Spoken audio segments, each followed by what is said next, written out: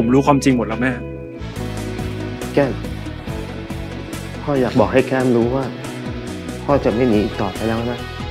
สารวัตรคิดว่าหลักฐานและพยานทั้งหมดที่เรามี จะสามารถเอาผิดคุณอดิตกับทุกคดีที่เขาเคยทำย้อนหลังได้หรือเปล่าครับ ผมว่ามันไม่ง่ายสำหรับคุณน่านเลยนะครับเพราะคนที่ทำร้ายคุณก็คือพ่อของเขา ถ้าน้ำต้องการเวลาบอกพี่ได้นะคะ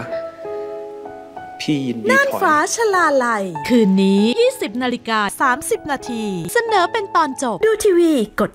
33 ดูมือถือกด3 plus